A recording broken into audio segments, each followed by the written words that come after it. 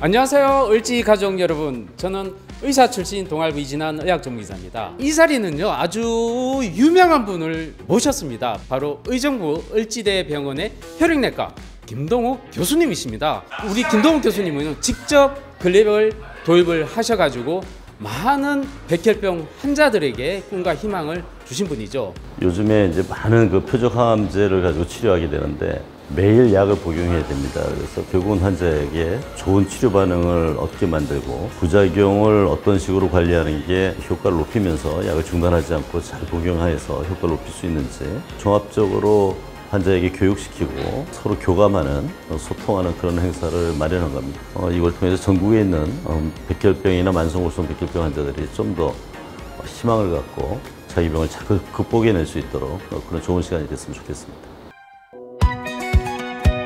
안녕하세요. 톡톡나 이진한 TV의 의사 출신 기자 동아일보 이진한 의학 전문 기자입니다.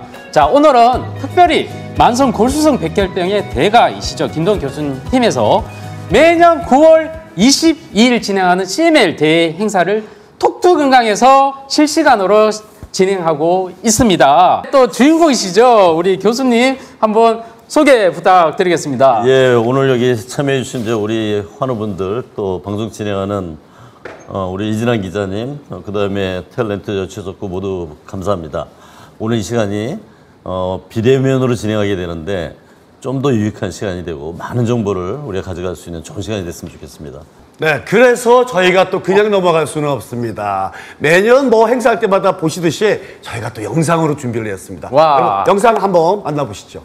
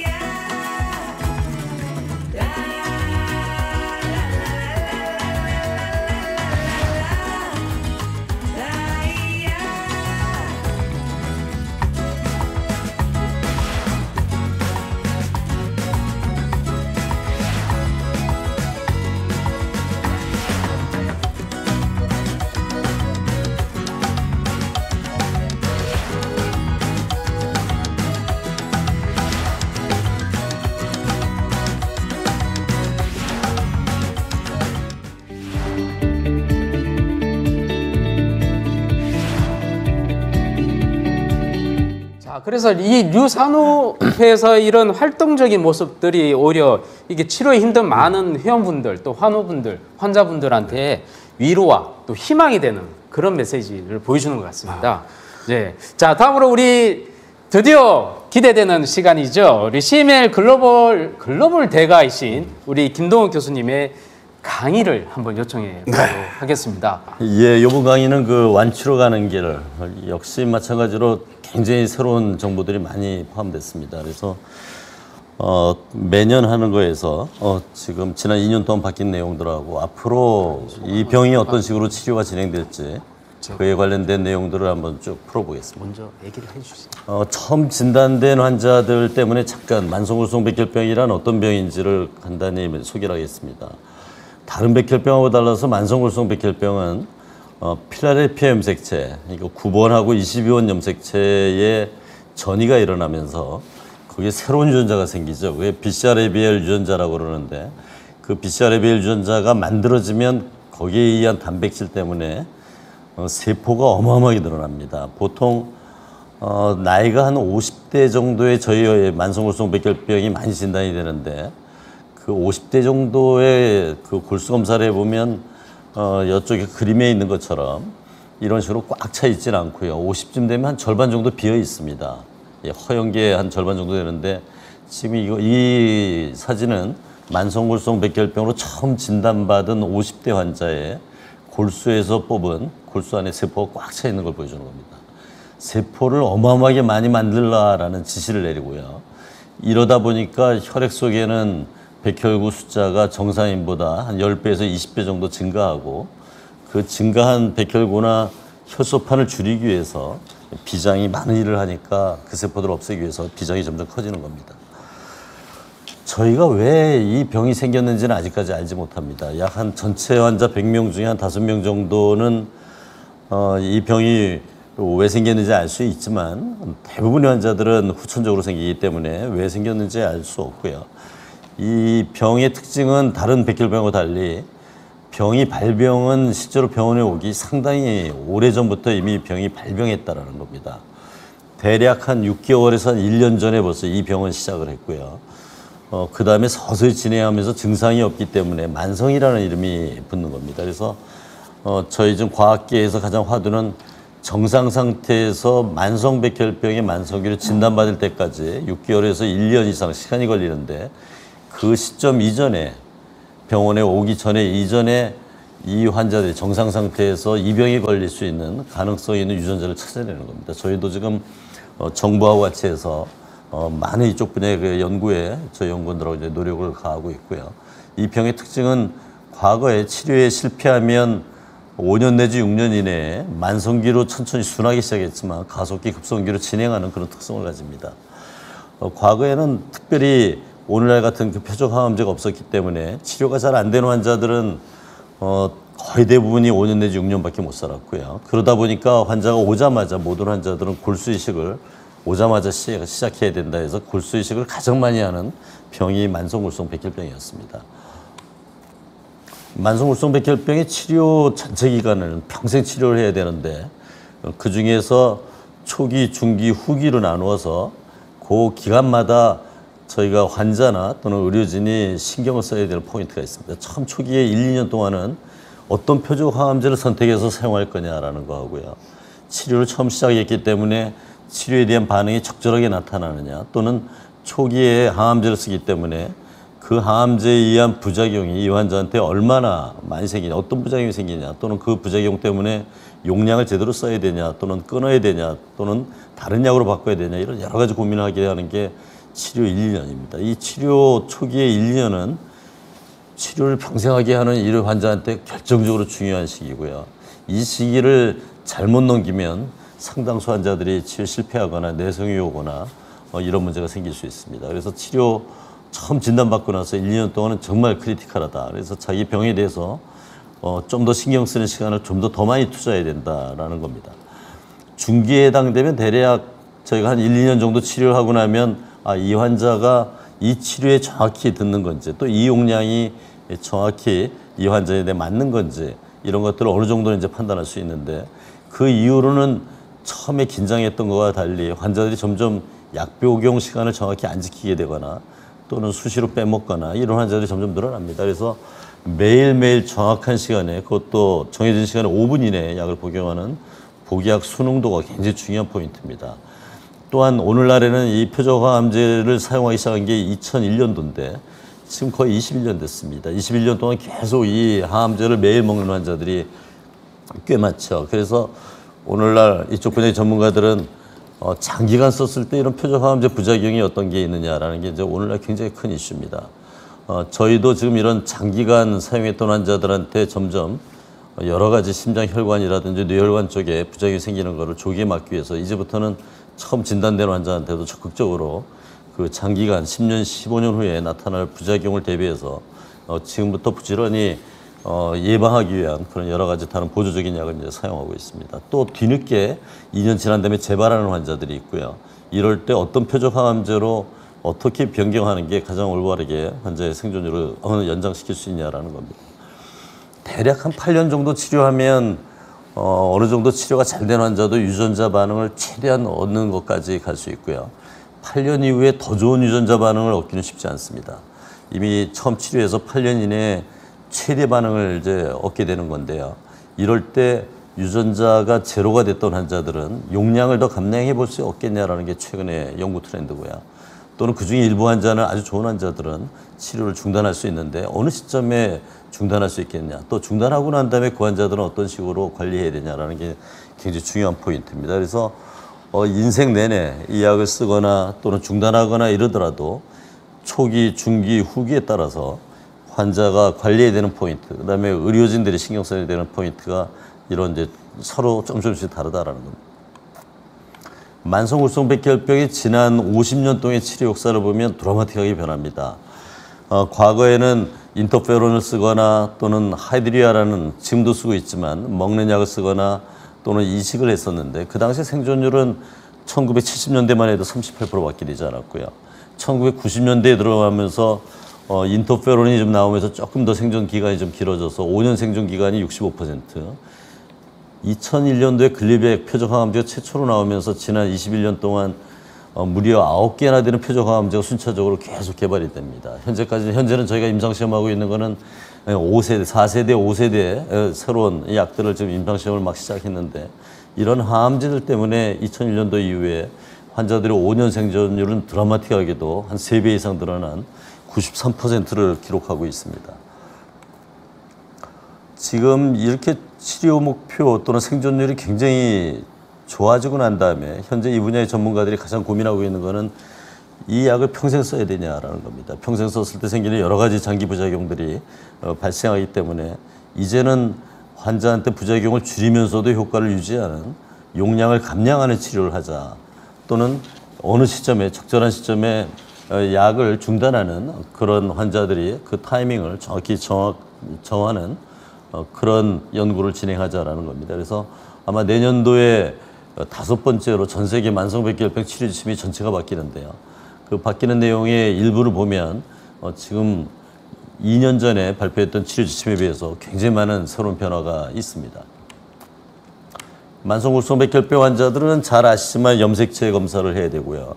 염색체 검사는 골수 속에 있는 세포 분열을 는 조혈모 세포를 직접 봐야 되기 때문에 반드시 골수 검사로 하게 됩니다.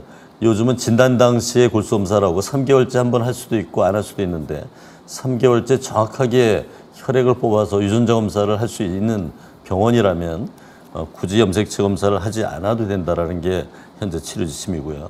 유전자 검사는 평생 동안 치료하는 동안에 어, 3개월 단위로 계속 해야 되고요. 만약에 치료가 잘 안 되는 환자한테는 매달 또는 치료가 아주 잘 되는 환자들한테는 6개월에 한 번씩 해볼 수 있겠다라는 게 어, 최근에 어, 바뀌고 있는 내용들입니다. 점돌연변이 검사나 세포 표면 항원 검사는 이 병이 만성기에서 가속기, 급성기로 진행했을 때 반드시 해야 되는 검사인데 이런 점돌연변이나 세포 표면 항원 검사를 통해서 이 환자가 림프구성 백혈병으로 진행을 했는지 골수구 계열의 백혈병으로 진행했는지 확인할 수 있고요. 점돌연변이 검사는 처 음 썼던 표적 항암제가 잘 안 들었을 때 어, 그런 경우에 내성이 오는데 내성의 원인이 뭐냐 또 점돌연변의 종류에 따라서 어떤 그 다음에 표적암제 어떤 표적암제 선택할 거냐라는 거를 위해서 굉장히 중요한 어, 검사가 되겠습니다. 이런 네 가지 검사는 적절하게 병원마다 어, 정확도가 좀씩 차이가 있는데요.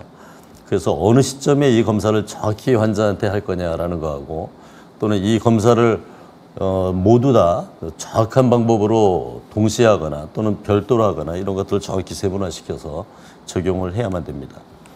표적항암제 복용법은 지금까지 나와 있는 여덟 가지 표적항암제마다 점점씩 다릅니다. 글리백은 밥 먹는 도중에 먹어야 되거나 또는 식사 끝나자마자 곧바로 위에 음식이 차 있는 상태에서 복용을 해야 되고요. 그 글리백의 두 군데의 그 화학기를 변형시켜서 효과를 한 20배 정도 세게 만든 타시거나 같은 경우는 어, 복용 전에 두시간 그 다음에 약을 타시거나 복용하고 난 다음에 한시간 이내에는 전혀 음식을 먹으면 안 됩니다. 그 이유는 많은 양의 약이 어, 지방 성분과 같이 흡수가 되게 되면 부작용이 심하게 나타나기 때문인데 이런 어, 복용법을 정확히 지켜야 되고요. 스프라이셀 같은 경우는 식사를 하든 안 하든 전혀 무관하게 시간만 정확히 지켜서 먹으면 된다라고 알려져 있고요.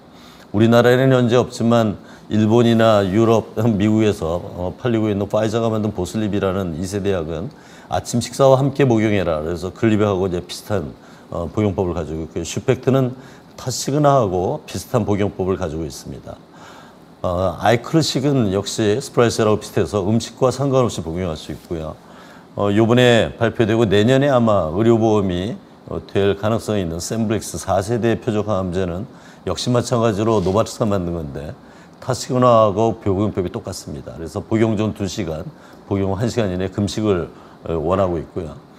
어, 저희가 지금 현재 저희만 임상시험을 하고 있는 알사에서 보도바티닙이라는 어, 3세대 약은 아침에 복용 전후에 1시간 동안 물 섭취를 금지하고 있습니다. 이런 식으로 표적 항암제마다 복용법이 다양하고 또는 사용하는 용량이 다양하고 이러기 때문에 각각의 약을 복용하는 환자분들은 정확하게 이 내용을 숙지해서 정확한 시간에 정확한 복용법으로 복용을 해야만 최대 효과를 얻고 부작용을 최소화시킬 수 있습니다.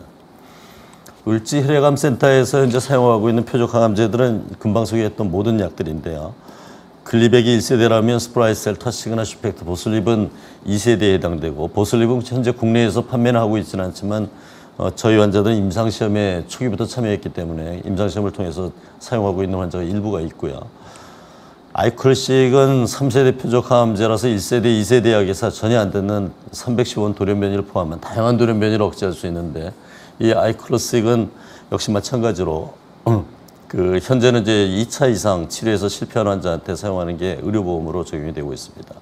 여기서 까만색으로 표시했던 1세대, 2세대, 3세대 약들 이 다섯 가지는 현재 적절한 시기에 사용하는 것은 의료보험으로 어, 인정이 돼서 환자 부담금이 5% 정도인데 보슬립은 한국에 없고 보도바티닙 샘블릭스는 현재 저희가 임상시험을 진행하고 있어서 임상시험에 참여하고 있는 약 한 70명 정도의 환자들은 현재 약을 무상으로 공급을 받고 있습니다. 아시다시피 이 표적암제마다 요 밑에 열거된 것처럼 다양한 부작용이 있습니다. 공통적인 부작용으로는 2세대 이상의 약계에서는 이 고지혈증이 상당히 문제가 된다라는 겁니다. 이 고지혈증은 오늘날 10년 이상 약을 복용했던 환자들한테 굉장히 어, 신경을 써서 잘 관찰하고 고지혈증 있는 환자들은 적절하게 이 혈당이나 콜레스테롤이나 이런 혈압이나 이런 걸 조절하기 위해서 굉장한 노력을 해야 된다. 그래야만 어, 10년, 15년 후에 정상인에 비해서 많은 숫자로 발생하는 어, 관상동맥 질환이라든지 뇌혈관이 막히는 뇌혈관 뇌졸중 같은 이런 합병증을 효과적으로 예방할 수 있다라고 알려져 있습니다. 만성울성 백혈병의 생존율은 지난 21년 사이에 드라마틱하게 변했습니다. 2000년 이전에 인터페론을 사용할 때 매년 이 병이 진단된 환자는 약 20% 정도 환자는 이제 사망을 해서 평균 생존 기간이 5년밖에 되지 않았는데 표적항암제가 나온 이후에 드라마틱하게 생존율이 늘어나면서 지금 10년 생존율이 약 한 85%에 달합니다. 그러나 어, 이런 생존율을 이런 표적항암제에서 얻을 수 있지만 이것도 전제 조건은 반드시 이 표적항암제를 매일 정확한 시간에 복용해야만 되는 겁니다. 만약에 표적항암제 사용에 실패한 환자는 2000년 이전에 인터페론 쓰던 시절하고 동일한 생존율을 보이기 때문에 약 복용이 굉장히 중요할 겁니다. 저희가 지금 관심을 갖고 있는 환자들은 어, 지금 여러 가지 이제 화두가 있는데 처음부터 약이 듣지 않는 환자입니다. 약 한 5% 정도 환자가 아예 약을 어떤 약을 쓰더라도 처음부터 듣지 않는 내성을 보이는 경우가 있고요. 그 다음에 약 한 10%에서 15% 정도 환자는 잘 듣다가 갑자기 재발하게 됩니다. 재발해서 진행하는 환자, 그래서 전체 한 20% 정도 환자는 치료에 실패하게 되는데 이런 환자들에 대해서 왜 이런 내성이 생기고 왜 재발하고 이런 기전을 찾는 게 저희 연구팀하고 지금 같이 공동으로 연구하고 있는 어, 저희 기초과학에 많은 과학자들과 같이 공동으로 진행하고 있는 그 중요한 내용들이고요. 또 하나는 완전 유전자 반응을 얻은 환자한테 언제 약을 끊을 거냐 또는 약 용량을 얼마나 줄일 거냐라는 거는 지금 추가로 임상시험을 통해서 현재 진행하고 있습니다. 환자분들이 반드시 알아야 될 거는 내가 약을 쓰고 난 다음에 내가 도대체 반응이 좋은 거냐 나쁜 거냐를 환자 자신도 알아야 되는 겁니다. 지금 치료를 시작하고 날 때, 시작할 때 암 유전자나 염색체가 100%로 시작을 했다 그러면 어, 3개월 되는 시점에 골수검사하거나 유전자 검사했을 때 유전자는 10% 이하로 떨어져야 되고요. 어, 골수검사에서 염색체는 35% 이하로 떨어지는 반응을 보여야만 적절한 반응이다라고 얘기할 수 있습니다. 글리백을 썼던 환자들은 약 한 67% 정도가 이 좋은 반응을 얻게 되는데 2세 대 표적 항암제를 쓰는 환자들은 한 90% 정도가 3개월째 이런 좋은 반응을 얻을 수 있습니다. 하지만 글리백을 처음부터 썼던 35%의 환자나 또는 2세 대 표적 항암제를 사용했던 10%의 환자들은 이 좋은 반응을 조기에 얻지 못하기 때문에 이 치료가 시작하고 난 다음에 3개월이 되는 시점에 빨리 이 내용을 알고 약을 바꾸거나 용량을 증량하는 그런 어, 치료를 어, 개시를 해야 되고요. 6개월 정도 치료하고 난 다음에 약 한 100배가 주는 유전자는 1% 이하, 염색체는 완전히 없어지는 완전 염색체 반응을 얻어야만 됩니다. 1년이 되는 시점에는 1000배 이하로 줄어드는 유전자가 0.1%, 염색체는 여전히 0%로 보여야 되고요. 그 이후에 최소한 1년 이상 표적항암제를 치료해서 지금 내가 4년 또는 뭐 10년, 20년이 됐다 이럴 때 그 환자들이 내가 정말 치료가 어느 정도 되고 이 약을 통해서 평생 어느 정도 예상된 수명대로 살 수 있겠냐라는 거는 최소한 유전자 반응이 0.1% 이하로 지속적으로 유지가 되어야만 됩니다. 만약에 치료하는 도중에 0.1% 이하였다가 0.1% 이상으로 증가하면 그 순간에 골수검사를 다시 하게 되고 혹시 약이 안 들어온 내성이 생겼는지 그걸 다시 한번 이제 살펴봐야 됩니다. 현재까지 전 세계적으로 연구가 진행되면서 지난 20년 동안에 20년 전에 치료했던 환자가 현재 어떠냐라는 걸 보면 만성골수 맥결병 환자가 100명이 처음 치료를 시작했다 그러면 70명은 최적 반응으로 정상적인 생존을 가능할 것 같다라는 게 현재 70%에 해당되고요.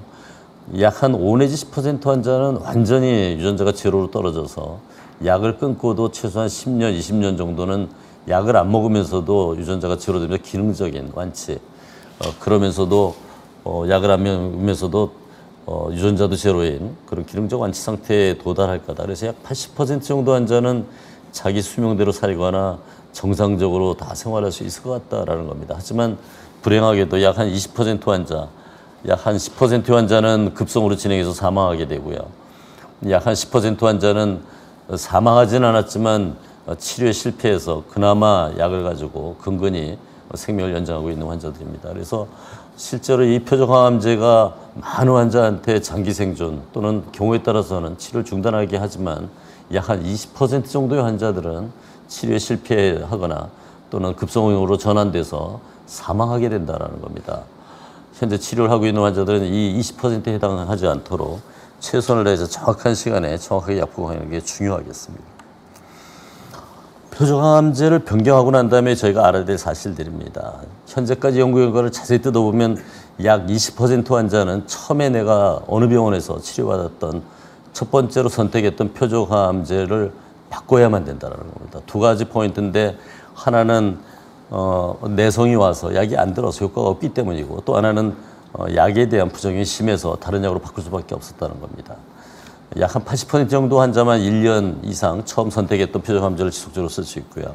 5년 정도 지났을 때 표적항암제를 다른 약으로 바꾸는 환자는 40%에 달합니다. 또한 50% 절반 정도의 환자는 부작용 때문에 용량을 줄였고요. 또 절반 정도의 환자는 최소한 하나의 이상의 표적항암제를 사용하게 됩니다.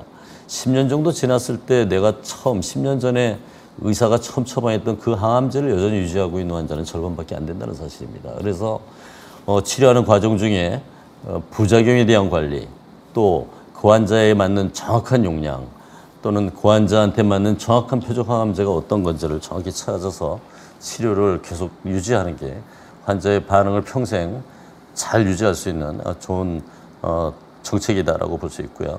이런 점을 명심해서 어, 본인의 부작용이라든지 효과를 환자들이 잘 어, 모니터링할 수 있도록 어, 환자들이 열심히 새로운 사실에 대한 공부를 해야 되겠습니다. 부작용은 다양합니다. 어떤 약이 가장 최선의 처음 모든 환자한테 가장 좋은 약이냐고 저는 항상 질문을 받는데 좋은 약은 없습니다. 모든 사람한테 유니버셜하게 공통적으로 부작용도 적으면서 효과를 극대화시켜서 모든 환자가 오랫동안 살 수 있는 최적의 항암제를 골라보라 그러면 저는 이 중에서 고를 수가 없죠. 하지만 그 환자한테 베스트인 표적 항암제는 있습니다.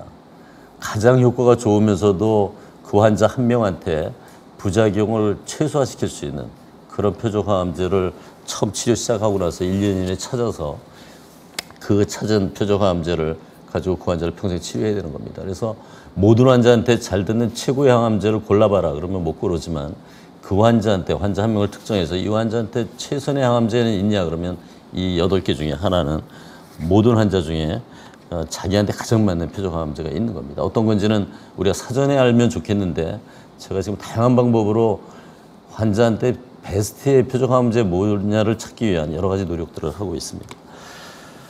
표적암제를 가지고 나중에 장기간 이 연구를 해봤더니 10년 이내에 약을 다른 걸로 바꿀 수밖에 없는 것은 표적암제가 좀씩 다릅니다. 글리백 썼던 환자는 10년 후에 약 27%는 다른 표적항암제로 변경했다라는 게 알려져 있고요. 스프라이셀 썼던 환자는 5년 이내에 40%, 타시그나 썼던 환자 10년 이내에 40%, 슈펙트를 처음에 골랐던 환자는 4년 이내에 약 20% 정도 환자는 그 약을 그대로 못 쓰고 다른 약으로 변경을 해야만 됩니다.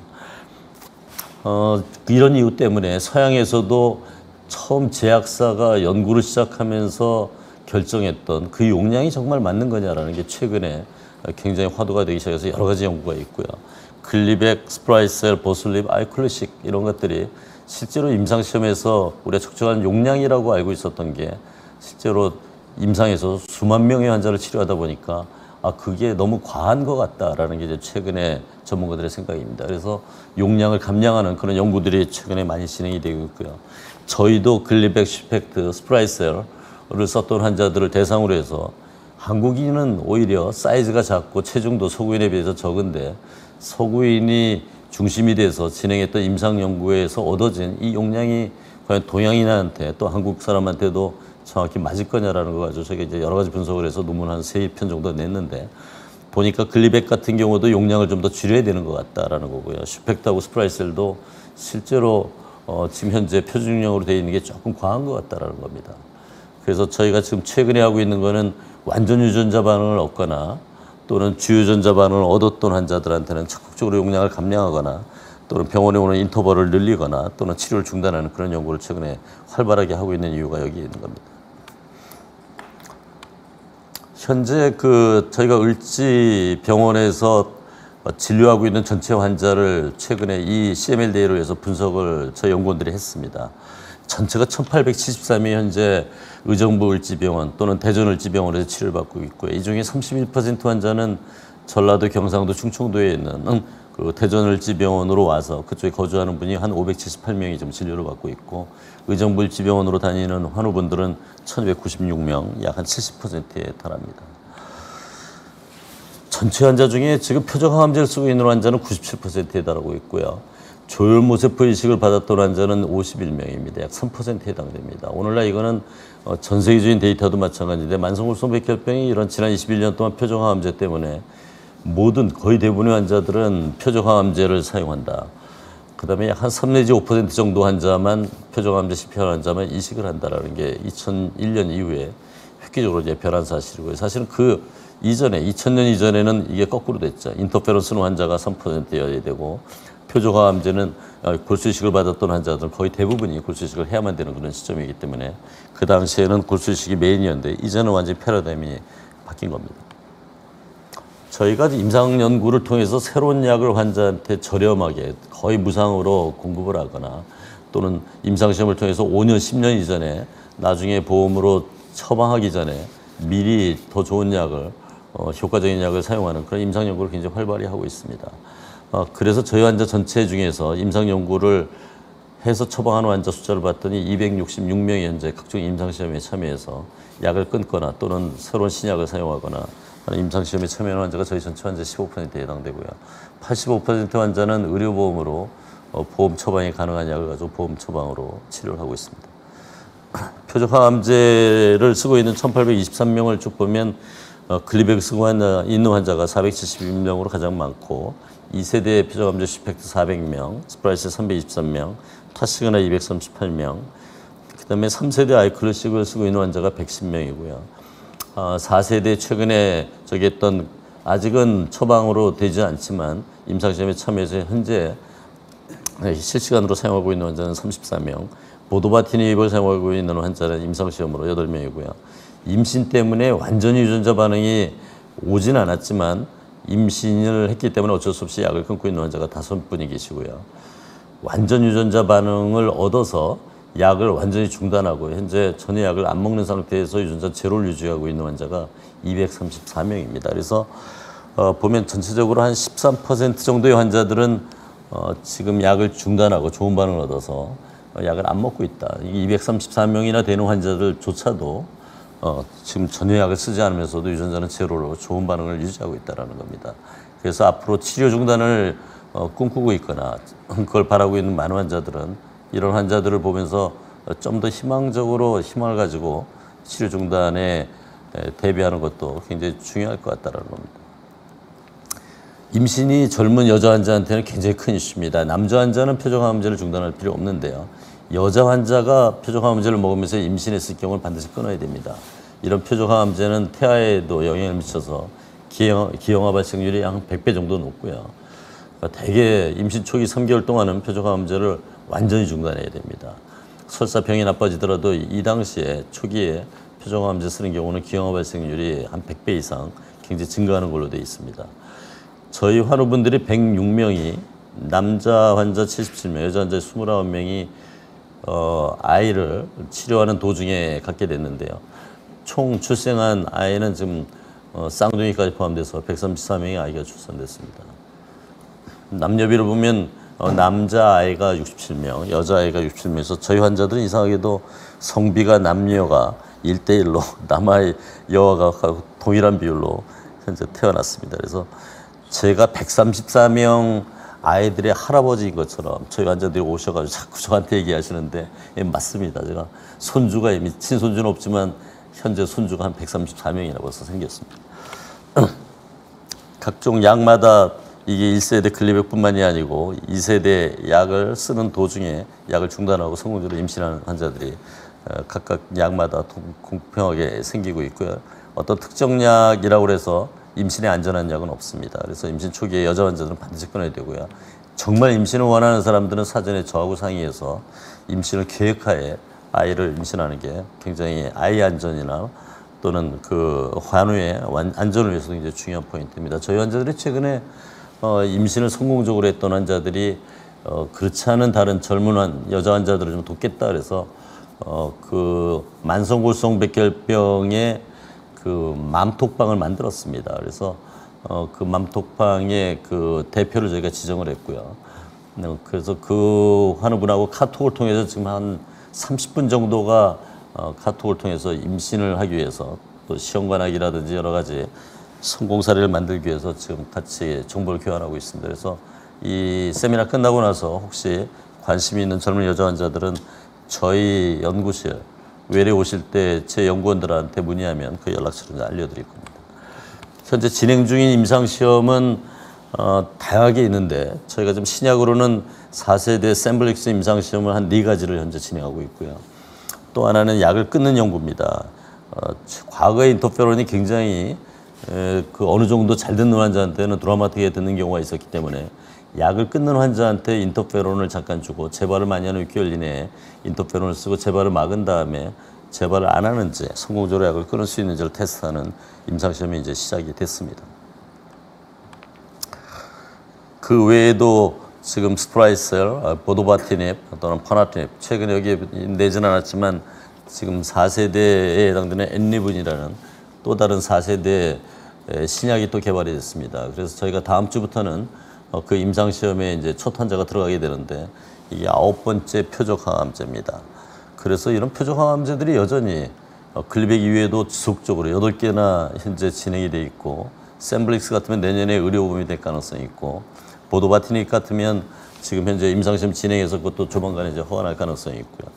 또 그럼에도 불구하고 아홉 번째 표적 항암제인 엔리븐 001이라는 어, 그런 표적 항암제가 저희가 임상시험을 지금 시작을 하기 때문에 지속적으로 제약사들은 이런 새로운 표적 항암제를 지속적으로 개발하고 있습니다.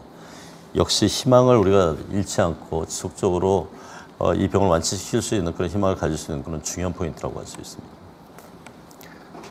셈블릭스는 특징이 조금 다릅니다. 4세대라고 얘기했는데 기존의 아, 표적 항암제 1, 2, 3세대는 다 요 파란 부분에 여기에 결합해서 암단백질을 기능을 억제하는데 새로운 결합 부위를 우리가 알게 됐죠. 이게 에스미, 셈블릭스가 결합하는 부위입니다. 서로 결합하는 부위가 다르기 때문에 미래에는 어, 저희 환자들도 지금 약 한 10명 정도는 이 두 가지 약을 동시에 쓰는 임상시험을 진행하고 있습니다. 미래에는 이 두 가지 서로 다른 부위에 결합하는 표적 항암제 두 개 이상을 결합해서 써서 조금 더 많은 환자한테 유전자를 제로로 만드는 그 시기를 좀 더 앞당기고 어, 약을 조기에 중단할 수 있는 그런 전략을 가지고 임상시험을 현재 진행하고 있는데 그런 것들이 아마 5년 이내에 아마 보편화될 가능성이 많습니다. 저희가 초기에 2010년부터 2015년까지 5년 동안 보건복지부의 연구비 지원을 받아서 어, 이 글리백을 중단하는 연구를 했습니다. 총 156명을 중단했고요. 결과를 보면 98명은 현재까지 약을 먹지 않고 계속 유전자 반응을 제로를 유지하고 있고요. 나머지 58명이 재발했는데 그 중에서 58명은 글리백을 다시 투약을 했고 그중에 56명은 또다시 완전 반응을 얻었고 이 중에 3분의 1은 또다시 2년 이상 유전자가 제로되는 바람에 또다시 약을 두 번째로 또 끊었습니다. 저희가 최근에 발표했던 논문은 이 두 번째 끊었을 때 재발할 확률을 미리 예측하는 수학 알고리즘을 개발해서 어, 논문 발표한 걸 지난주에 이제 언론 보도가 나왔었죠. 어, 그래서 여러 번 끊어볼 수도 있다. 어떤 특정 카테고리에 들어가면 이제 이런 게 가능하고요. 두 번, 세 번 끊었을 때 재발률은 조금 높지만 그래도 재발 안 하는 환자하고는 계속 한 20% 전후에서는 계속 재발 안 하는 환자들을 찾을 수 있다라는 겁니다. 하지만 이래서 한 두 명 정도는 재발했는데 병이 급성기로 진행을 해서 병이 나빠졌습니다. 이 두 명 재발한 환자 때문에 약 한 1 내지 2% 정도 환자는 약을 끊는 연구를 하는 도중에 병이 진행할 수 있다라는 거고요. 이런 이유 때문에 어, 반드시 약을 중단할 때는 전문가들의 조언에 의해서 임상 연구를 통해서 약을 중단해야만 된다는 겁니다. 함부로 아무나 약을 끊지 말라라는 게 현재 이 전문가 그룹들의 조언입니다. 초인터페론도 치료가 완벽하진 않지만 저희가 지금 현재 다니고 있는 환자 한 명을 보면 독특하게도 인터페론을 쓰고도 약을 중단할 수 있을 것 같다라는 겁니다. 이런 이유 때문에 저희가 약을 중단하는 환자한테 인터페론을 추가로 재발을 많이 하는 6개월 이내에 사용하는 그런 치료를 진행을 하고 있는 겁니다. 이 환자의 특성을 보면 95년도 8월 달에 진단을 받고 인터페론을 약 한 7년간 사용했는데 7년간 사용하고 난 다음에 유전자가 제로됩니다. 굉장히 희귀한 케이스죠. 인터페론 쓰고 완전 유전자 반응을 얻을 확률은 1%밖에 되지 않는데 거기에 해당되는 환자였고요. 이 환자들은 그 7년 동안 인터페론 쓰고 난 다음에 제로된 다음에 약을 끊기를 원해서 끊었습니다. 그게 20년 전인데 끊고 난 다음에 지금 지난 20년 동안 추적해 보면 계속 유전자는 제로가 나오면서 그렇게 재발하지 않습니다. 이런 이유 때문에 인터페론도 이 만성골성 백혈병에서는 어, 굉장히 특징적인 어떤 특징을 가지고 있다. 면역 기능을 증강시키면서 만성 백혈병 세포를 추가로 더 죽일 수 있다는 겁니다. 제가 최근에 중단 연구 중에 어, 약을 끊고 난 다음에 인터페론은 새로운 인터페론인데 2주에 한 번씩 과거에 이 환자들은 매일 맞는 인터페론을 맞았는데 지금 최근에 나온 인터페론들은 새, 새 거는 2주에 한 번씩만 맞습니다. 6개월 동안 재발 많이 하는 경우인데 재발을 막기 위해서 2주에 한 번씩 인터페론을 놓고 치료했을 때 재발을 할 거냐 가만히 그대로 아무 치료도 안 했던 환자하고 비교했을 때 재발이 더 많을 거냐라는 걸 현재 테스트하는 임상시험을 진행하고 있습니다. 저희는 아마 인터페론을 어, 그 재발을 많이 하는 그 기간 동안에 사용했던 환자한테 치료를 중단하더라도 재발률이 떨어질 걸로 현재 예측하고 있고요. 이 연구는 유사한 연구를 미국하고 유럽의 별도의 그룹에서도 또 동시에 진행하고 있습니다. 현재 저희가 진행 중인 이 임상 치료를 중단하는 효과가 아주 좋은 환자인데 치료를 중단하는 연구는 두 가지가 있습니다. 이제까지 2020년부터 서울 소모에 있을 때부터 진행해 왔던 임상 연구는 지금 130명을 목표로 하고 있는데 122분이 현재 여기에 참여돼 있고요. 이 연구는 한국연구재단의 연구비 지원을 받아서 어, 약을 끊고 난 다음에 왜 재발하느냐 또는 재발하지 않는 환자는 왜 재발하지 않냐라는 이유를 모든 세포의 유전자를 다 분석하는 그런 유전자 분석을 통해서 밝혀내는 겁니다. 올해로서 3년째인데 저희가 몇 가지 유의한 어, 이- 의미 있는 그런 유전자를 현재 발견하고 있고요. 이런 유전자를 가지고 재발을 할 거냐 안 할 거냐 약을 중단했을 때 그 환자들을 선별하는 그런 중요한 어떤 지표로 마커로 사용할 수 있을 것 같다라는 게 저의 어, 예측입니다. 또 하나는 방금 얘기했던 약을 끊고 난 다음에 인터페론을 재발 만연을 6개월 동안 주어서 이런 면역 기능을 증강시킴으로써 재발을 막을 수 있겠냐라는 걸 테스트하는 임상 시험이 진행이 됐고요. 진행된 지 한 3개월 됐는데 지금 한 20분 정도가 여기에 참여하고 있습니다. 현재까지 인터페론을 정식으로 20분이 참여해서 등록을 시작을 했고요. 14명이 치료를 약을 중단하게 됐는데 그중에 6분은 지금 2주에 한 번씩 인터페론을 주사를 맞고 있고 8명은 현재 아무 치료도 안 하면서 비교하는 현재 테스트하고 있습니다. 약한 이 20명 데이터를 나중에 보고 나면 6개월 후에는 어느 정도 인터페론이 초기 6개월 동안 썼을 때 약을 표정암제 중단하더라도 재발을 어, 안 하는데 어느 정도 도움이 될지 될 수 있다 없다를 저희가 어느 정도는 가늠할 수 있는 중요한 어, 연구라고 볼 수 있습니다. 이 연구는 전 세계적으로 지금 최초로 시작되는 거여서 이런 치료 중단 연구에 앞으로 미래에 어, 어떤 등불이 되는 그런 중요한 임상 연구 중에 하나입니다. 어떤 환자를 치료를 중단할 수 있냐라는 겁니다. 반드시 필요한 필수 조건이 있습니다.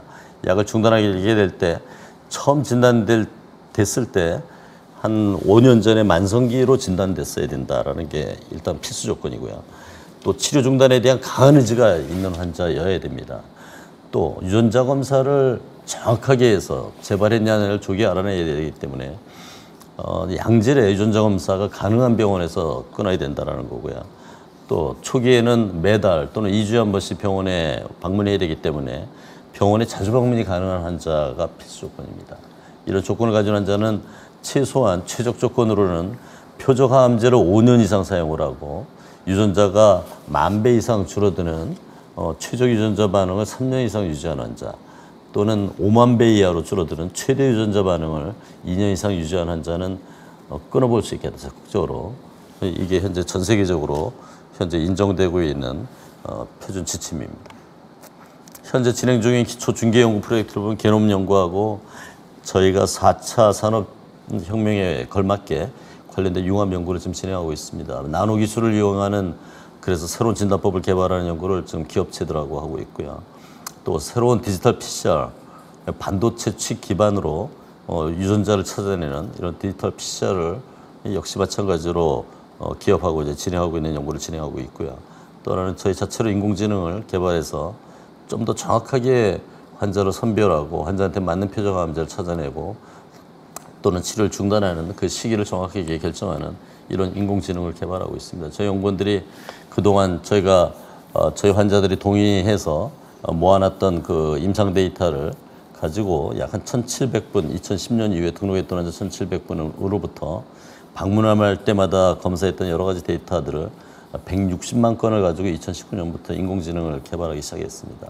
현재 세 가지 중에 두 가지는 어느 정도 전 단계 프로토타입이 나와서 우리 연구원들이 이 내용을 가지고 현재 어, 임상시험 테스트를 하고 있고요. 한 가지는 지난주에 저희가 발표했던 수학 알고리즘을 통해서 어, 인공지능을 개발하는 그런 이 연구를 좀 착수하고 있습니다. 제 강의는 여기서 마치겠습니다. 이 강의의 내용의 상당 부분은 그동안 저하고 20년 이상 같이 일했던 여러 연구원들이 달려 있습니다. 우리 연구원들이 그동안 임상시험을 통해서 또는 기초에서 유전자 검사를 통해서 어, 지난 20년 넘게 변함없이 이 만성골수성 백혈병 연구에 매진한 결과입니다. 앞으로도 어, 저희가 어, 이 분야에서 일이 끝날 때까지 계속 지속적으로 만성 백혈병이 왜 생기는지 이게 왜 진행하는지 언제 끊을 수 있는지 이런 거에 대한 정말 의문을 다 해결할 수 있기를 저희가 바라고 있습니다.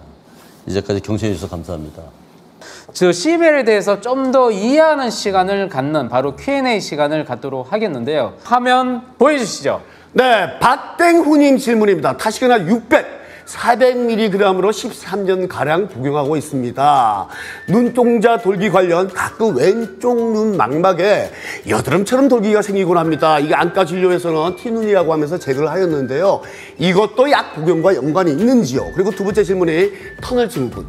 손가락에 터널 증후군도 약과 연관성이 있는지요?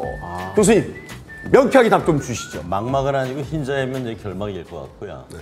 저런 부작용들은 아주 드물지만 어, 약과 타시거나 관련돼서 이제 올 수는 있습니다.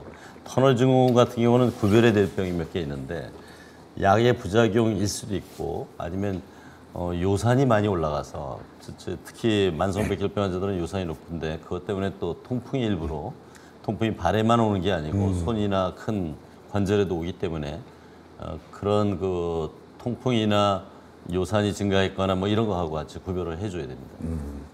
자, 박땡님, 정확하게 교수님께 명쾌한 답 들으셨나요? 자, 두 번째, 교수님께 묻다. 두 번째 질문 보여주시죠. 네. 네, 최땡연님 질문입니다. 중단 임상 2년 차입니다.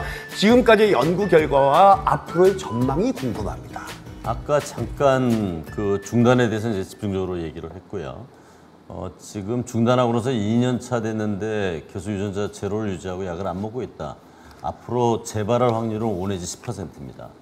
어, 그런데 역시 마찬가지로 재발 확률이 5 내지 10% 있기 때문에 3개월마다 계속 지속적으로 유전자 검사를 하셔야 되고요.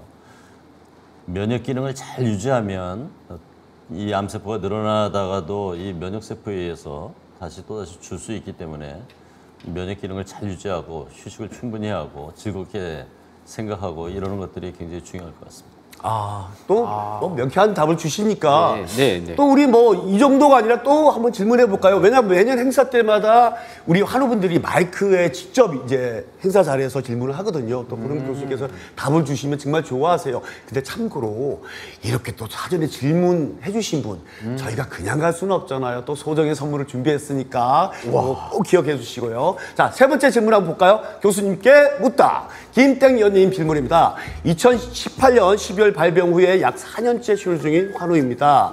현재 스프라이셀 50mg 복용 중이며 4년 정도 치료를 하니까 유전자 수치가 조금만 증가해도 치료 예상에 대한 불안함과 궁금증이 많아 생겨 질문 드립니다. 어, 이분은 또 질문이 세 개예요. 와. 야, 이렇게 한 사람이 세 개씩 하면 이거 곤란한데. 자, 이거는 봐드리겠습니다. 내성이 생겼을 시 환자가 자각할 수 있는 증상이 있는지요?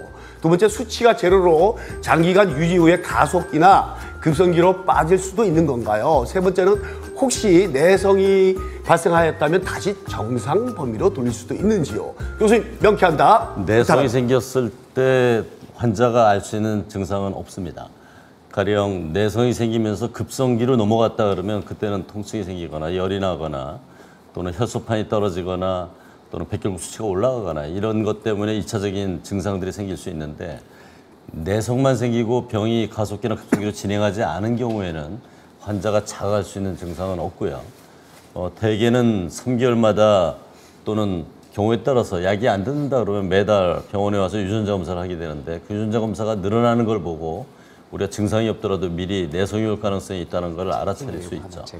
만약에 유전자가 제로되는 환자가 나중에 갑작스럽게 약을 복용하는데도 불구하고 갑작스럽게 나빠질 수 있냐 그럴 확률은 1%가 채 안 됩니다. 그래서 어, 유전자가 제로된 환자 또는 0.1% 이하로 떨어진 환자한테 10년 이내에 병이 진행해서 약을 잘 복용하는데도 불구하고 진행해서 안 좋아질 가능성은 5% 이내고요. 어, 가령 어, 내성이 왔을 때 어, 재발해서 내성이 왔을 때 그 다음에 다른 방법이 있겠냐? 지금 현재 표적항암제는 아까도 말씀드렸듯이 1세대부터 4세대까지 개발이 되어 있습니다. 또 저희가 임상 시험을 하고 있는 보도바티닙이나 엔리분이나 이런 약들이 또 있기 때문에 가령 어떤 특정 그 표적항암제 하나에 내성이 와서 약이 안 들었을 때는 아까 얘기했던 점돌연변이나 이런 내성의 원인이 뭔지 유전자를 분석한 다음에 그 점돌연변의 종류나 또는 내성의 종류에 따라서 적절하게 들을 수 있는 그 다음에 2세대 약 또는 2세대 약이 안 들었을 때 3세대 약, 4세대 약 이런 식으로 약을 교환해서 어, 교체해서 사용할 수 있고요.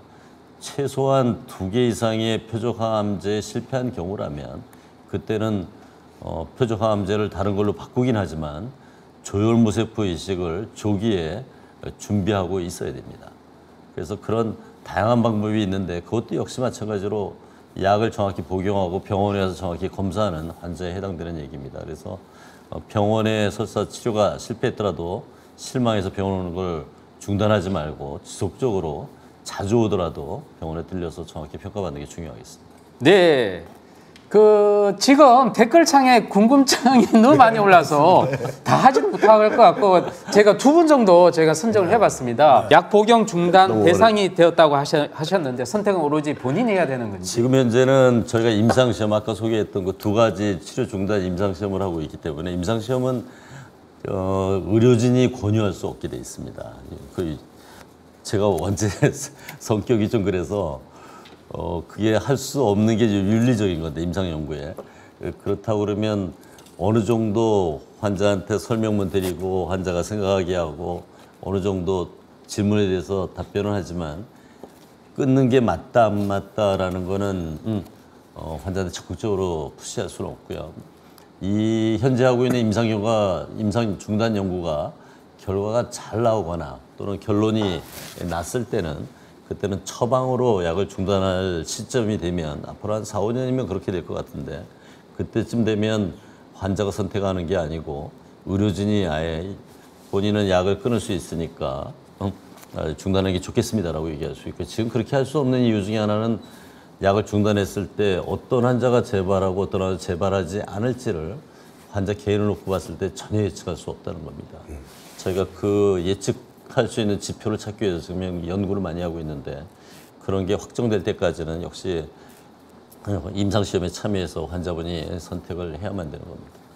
만약에 3세대, 4세대 약을 쓰다가 치료에 실패했는데 다시 1세대 글리백을 쓸 수 있겠냐. 그게 두 번째 질문이었는데 어, 아주 드물지만 가능은 합니다. 가령 4세대 약이 샘블릭스가 결합하는 부위가 다르기 때문에 그 결합하는 부위에 생기는 337번 돌연변이나 또는 458번 이상의 돌연변이들은 샘블릭스에는 안 듣는데 그 돌연변이는 굉장히 약한 돌연변이거든요. 그래서 그런 것들은 글리백을 쓰면 또다시 좋아질 수 있습니다. 그래서 설사 4세대 썼는데 안 들어서 이제는 5세대 써야 되는 거 아니냐라는 게 일반적이지만 어, 과학적으로 보면 내성의 원인을 정확히 알 수만 있다면 1세대 글리백으로 다시 돌아갈 수도 있습니다. 그런 예를 저희가 종종 어, 볼 수도 있고요. 자, 다음 우리 교수님께 묻다 한번 볼까요? 아, 네네. 시다 자. 한번 시작하시죠. 네, 다음 한번 보여주시죠. 네, 김땡고님 질문입니다. 현재 상태고요. 2016년 9월 확진 스프라이셀을 복용하고 있고요. 2017년 3월 PCR 검사 결과 제로에 도달했습니다. 2019년 11월에서 2020년 4월에 폐에 물이 차서 글리백 복용을 하고 있고요. 2020년 4월 현재는 물이 안 빠져서 타시그나로 바꿔서 복용을 하고 있습니다. 교수님 또 명쾌한 답 좀 주시죠. 어, 그다음에 또 있나요? 교수, 예, 아. 네, 현재 겪고 있는 부작용, 폐에 물 차는 복용, 스프라이셀, 글리백, 타시그나 치료, 뭐, 아까 제가 설명드렸고요. 더 이상 늘지도 줄지도 않는 상태 계속이다. 단, 왼쪽 가슴 상단에 통증이 있다. 아, 심장 판막 약간 열려 있고, 약간 폐동맥 경화 증상이 있고, 혈압 강화제를 계속 복용하면서 정기적 진료 중이다. 네, 교수님. 또 있죠. 또 있습니까? 아니 김땡고님 혼자서 질문 다 하실 겁니까? 네 구독 누르셨죠? 네 면역력 약한데요. 2022년 코로나 감염 2차례. 와 이분은 3월과 8월에 두 번 이제 확진되셨네요. 역류성 식도염에 계속 약 복용하지만 낫지 않습니다. 몸 상태가 활력이 없고 피곤한 느낌이에요. 도움이 될 수 있는 건강 보조 식품이나 보약을 섭취 가능 여부. 아 이거는 맨 마지막 거 절대 안 됩니다. 그렇죠? 교수님 또 질문 있습니까? 예, 맞습니다. 마지막 또, 이제- 또 질문 있습니까? 약근에 대한 기대와 두려움, 기대감. 약을 끊으면 현재 겪고 있는 부작용이 없어질 수 있다는 기대감. 두려움은 재발할지도 모른다는 두려움. 재발할 때 다시 항암제를 복용해도 회복되지 못하고 급성이나 위험한 상태가 될지도 모르는 두려움. 이게 마지막 질문인가요? 그래서 마지막이 진짜 마지막 질문. 진짜 또 있어요? 알겠습니다. 김땡고님, 제 결혼식에 꼭 오셔야 됩니다. 저 읽다가 숨차겠어요. 자, 교수님께 드릴 질문 마지막입니다. 약을 끊을 때 어떤 단계를 거치는 건가요? 현재 개발되어 있는 약 중에 제가 개발했을, 개발했을 때 선택할 수 있는 약이 몇 가지나 있는지요? 저의 상태에서는 약을 끊는 시도를 하는 편이 좋을까요? 아니면 당분간 계속해서 약을 복용하는 편이 좋을까요? 교수님 질문 다 기억하십니까? 지금 여기 써 있으니까 저걸 좀 보여주시면 되는데 자, 약- 질문 다시 한번 보여주시고요. 아니, 첫. 번째는 약을 끊었을 때 어떤 단계를 거치나요? 그거는 아까 이제 설명은 좀 했는데 가령 앞으로는 제가 아마 지금은 다양한 연구를 하기 때문에 그런데 끊는 연구에 대해서 이제 끊어가면서 이제 여러 가지 생각을 하고 있는데 내년부터는 어, 이 제로가 된 환자들 아까 5년 이상 약을 쓰고 최소한 5만 배 이하로 줄어드는 경우가 한 2년 이상 지속된 환자는 끊어볼 수 있다 최적 반응으로 그렇게 얘기했는데 그런 거에 해당되는 환자들은 용량을 1단계 한번 줄여보고 용량을 줄인 다음에 한 1년 정도 지나서도 계속 유전자가 제로를 유지하면 그때 단계적으로 끊어볼까 이제 이런 그런 연구를 구상하고 있고요.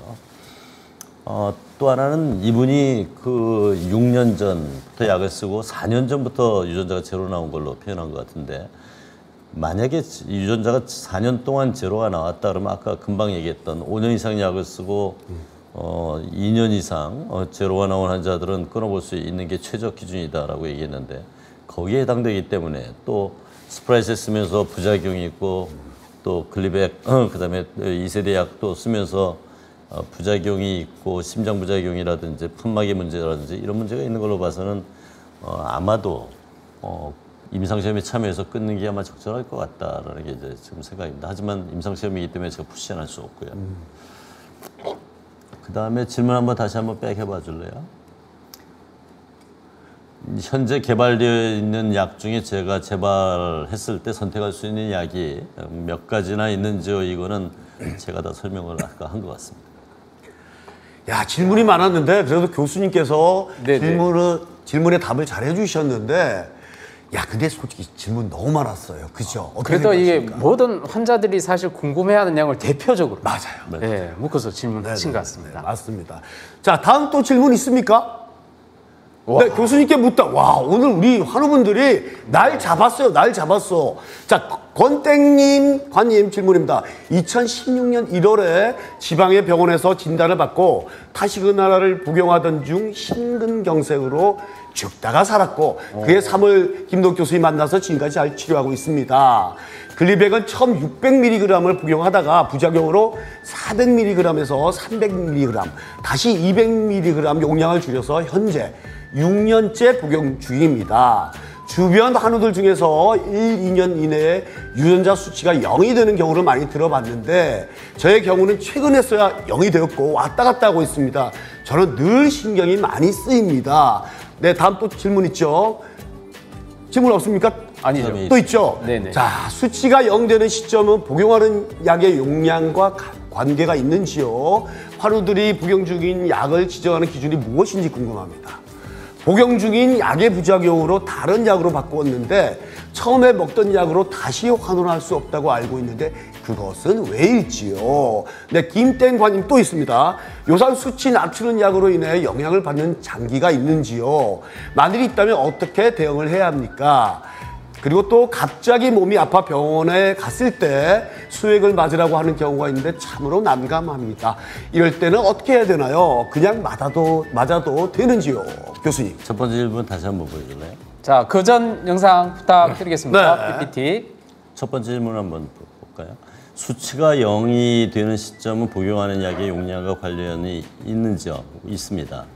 이- 있어서 사실은 치료 초기에 정확한 용량을 쓰는 건 중요하고요.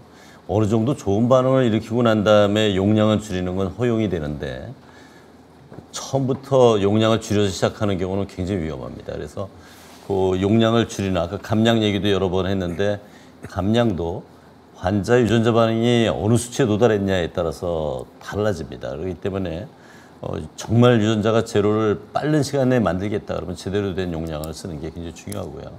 환우들이 복용 중인 약을 지정하는 기준이 무엇인지 궁금합니다. 저도 아직도 없습니다. 저희가 지금 현재 인공지능 개발한다고 그랬는데 어, 그런 다양한 데이터, 가족력이라든지 과거에 어떤 병을 알았는지 현재 어떤 약을 쓰고 있는지 또는 가족들이 과거에 뭐 혈당이 높은 사람이 있었는지 고지혈증이 있었는지 이런 것들을 종합적으로 평가해서 그 환자한테 최고의 최적의 어, 약을 골라주는 그런 인공지능을 현재 저희가 개발 중에 있고요. 조만간에 아마 1년 이내에 아마 거의 성공할 거로 보고 있습니다. 복용 중인 약의 부작용으로 다른 약으로 바꾸었는데 처음에 먹던 약으로 다시 환원할 수 없다고 그러는데 왜일까요? 딱 한 가지입니다. 의학적으로는 바꿀 수 있고요. 어, 바꿀 수 있지만 의료보험 때문에 그렇습니다. 의료보험에서 첫 번째 썼던 약을 다른 약으로 바꿀 때는 반드시 두 가지 중에 한 가지 이유를 내야 되는데 그게 현재 복용 중인 약이 부작용이 심하다라는 게 있거나 또는 현재 복용 중인 약이 듣지 않는다. 이 두 가지를 가지고 그 이유를 가지고 다른 약으로 변경할 때만 의료보험이 됩니다. 그런데 이미 그 두 가지 중에 하나를 가지고 의료보험으로 받았는데 또다시 그 약으로 돌아가는 거를 어, 심사평가원에서 인정하지 못하기 때문에 의료보험이 안 되기 때문에 과학적으로는 가능할 수 있는데 의료보험 이슈 때문에 그러면 환자가 거의 20배 가까이 되는 치료 비용을 내면서 약을 복용해야 되기 때문에 그래서 현실적으로 다시 환원하는 게 어렵습니다. 다시 원래 썼던 약으로 환원하는 경우는 굉장히 최근에는 많이 줄어들었고요. 그 이유는 3세대, 4세대 약들이 지속적으로 개발되고 있기 때문에 굳이 이전까지 써서 치료가 안 됐던 약 또는 부작용이 심해서 약을 바꿨던 약으로 다시 돌아갈 이유는 많지 않을 겁니다. 네 번째 질문은 요산이 요산을 낮추는 약을 먹었을 때 장기에 영향을 미치는 거의 없고요. 요산은 저희 환자들한테 세포를 많이 만들어내는 질환이기 때문에 세포가 깨지면서 요산이 많이 나옵니다. 요산이 높은 경우에 두 가지 이슈가 생길 수 있는데 하나는 요로결석이 많이 생길 수 있고요. 또는 통풍이 생길 수 있습니다. 그래서 어, 치료 초기에는 요산 낮추는 약을 거의 모든 환자한테 사용하고 있고요.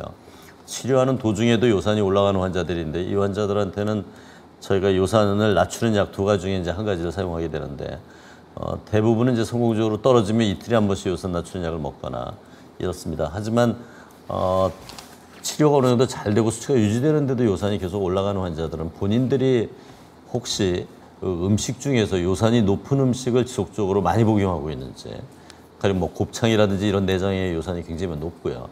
고등어라든지 이런 생선에도 여 전히 요산이 높습니다. 그다음에 고기 같은 것도 역시 잘 익히지 않으면 여전히 피나 이런 것들은 이제 요산이 높거든요. 그래서 그런 요산이 높은 음식들을 어, 선제적으로 좀씩 줄여나가는 것도 이제 굉장히 중요하고요. 몸이 아파서 병원 갔는데 수액을 맞으러 합니다.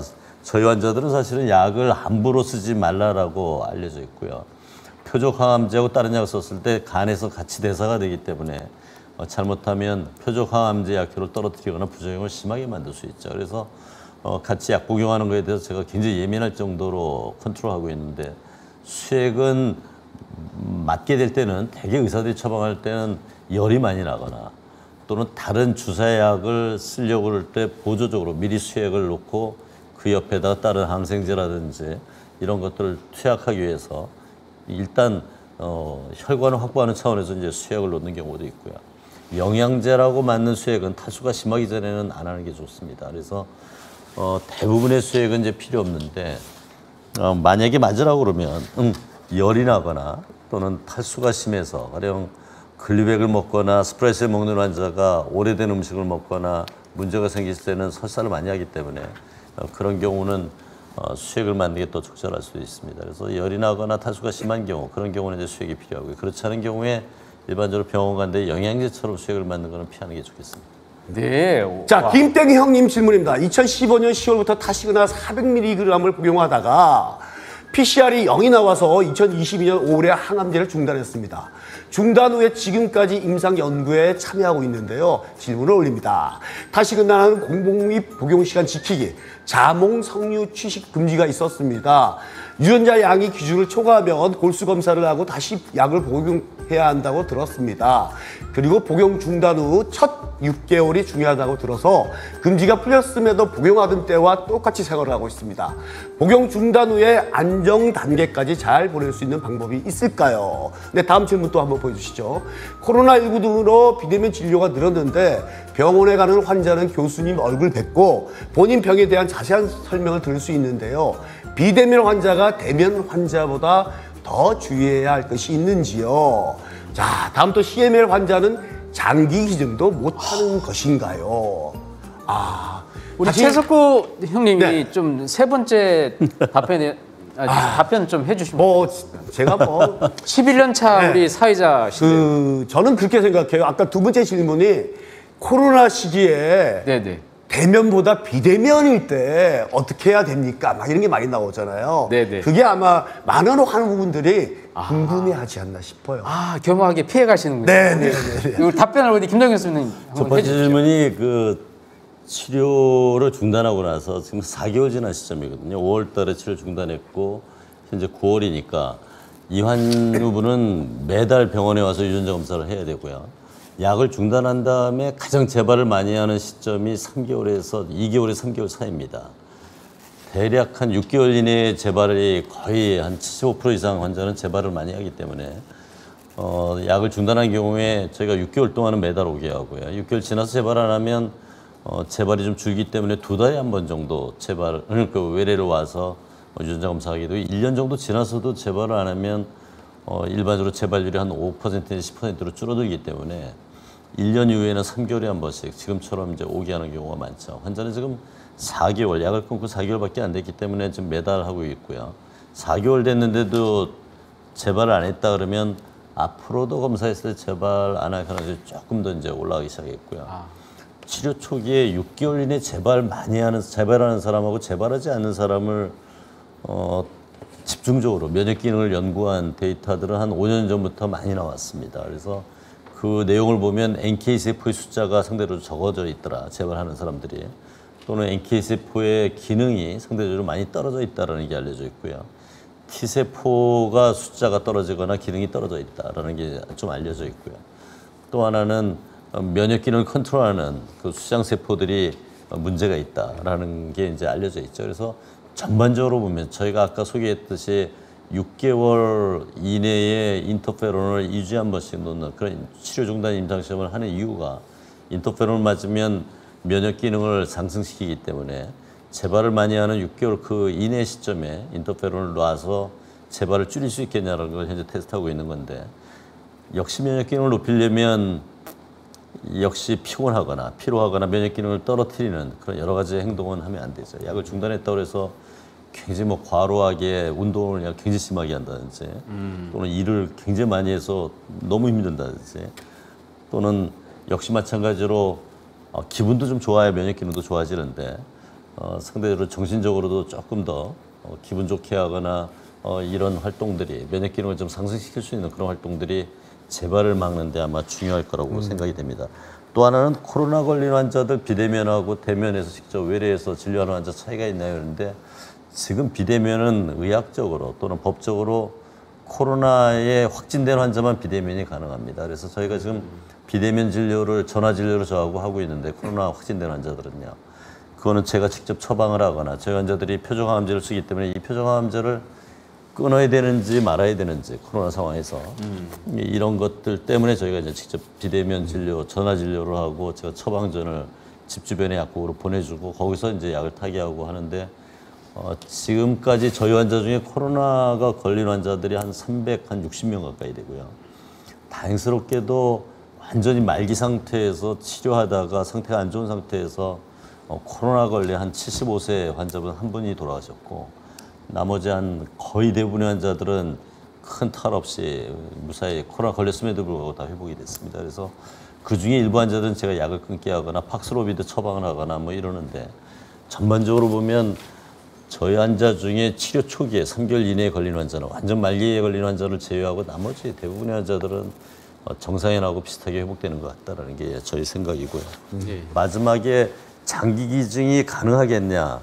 장기 기증은 사실 좋은 마음으로 하는 건데 실제로 장기 기증을 할 수 없는 두 가지 의학적인 조건이 있습니다. 하나는 에이즈 환자거나 또는 암을 가진 환자는 법적으로 장기 기증이 불가능합니다. 그래서 저희 환우분들은 설사 유전자가 치료가 잘 돼서 유전자가 제로가 나와서 약을 끊고도 재발하지 않고 있는 환자라도 어, 장기 기증은 법적으로 조금 더 어, 신중하게 생각하거나 아니면 금지돼 있다라고 합니다. 그 중에 장기 기증 하고 싶어하는 환자들이 꽤 있었는데 어, 그분들한테 저는 장기 기증보다는 차라리 의과대학에다 시신 기증을 하십시오. 이제 이렇게 얘기하거든요. 시신 기증은 요즘 시, 시신을 구하기가 굉장히 해부학, 실습하기에 굉장히 어려운 시점에 어, 그거는 오히려 장기기증보다 조금 더 어, 의대생, 미래의 의사를 좋은 의사를 키워내는 그런 방법일 수 있기 때문에 그래서 시신 기증을 하신 분들도 한 두세 분 계십니다.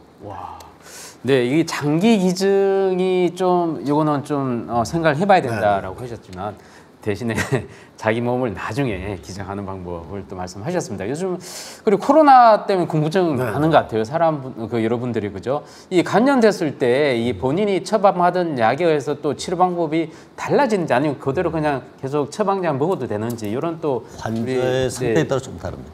아 상태에 따라 달라집니까? 네, 그렇습니다. 궁금한 점 속 시원하게 어, 해결되셨는지 모르겠습니다. 우리 사회자분하고 우리 김동 교수님 어, 소감 한마디. 소감, 듣고. 네, 네. 자 소감 한마디. 네, 그 보니까 막 시간 가는 줄 모르고 집중했습니다. 이렇게 올라가고 와 김대현님께 별풍선 만 개가 막 증명됐어요. 네. 대현님이 별풍선을 잘 알까요? 잘 모르겠는데 만 개입니다. 이거 만 개 아무나 안 주는 거예요. 네네. 아, 이것만 봐도 댓글 봐도 기분 좋고요.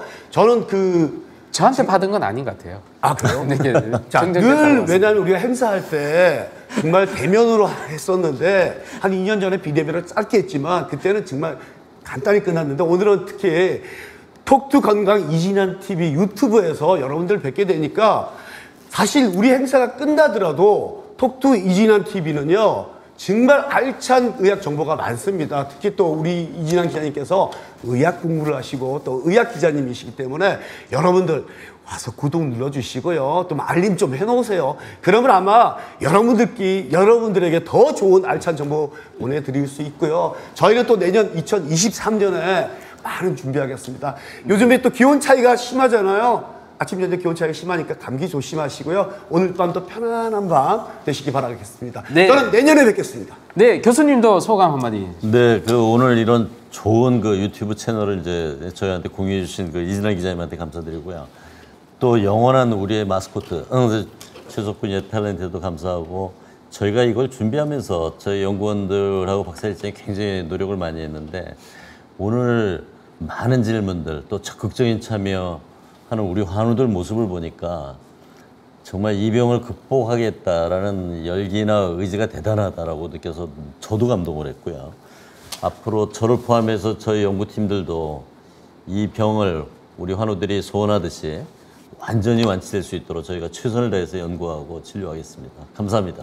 네, 정말 우리 최석구 형님의 결혼식 다시 축하 한번 드리고요. 우리 김동 교수님이 손자 열 134명의 손자 다시 축하드리겠습니다. 내년에는 오프라인으로 우리 등산을 같이 하면서 톡톡강 유튜브에 한번 여러분들 다 초대하겠습니다. 내년에 뵐까요? 약속하시는 거죠? 네, 약속합니다. 자, 내년에 네. 우리 이진환 기자님과 함께 산행을 하는 그날이 올 때까지 여러분 건강하시고요. 또 내년에는 더 좋은 신약이 나올 수도 있으니까 여러분 힘내십시오. 감사합니다. 고맙습니다.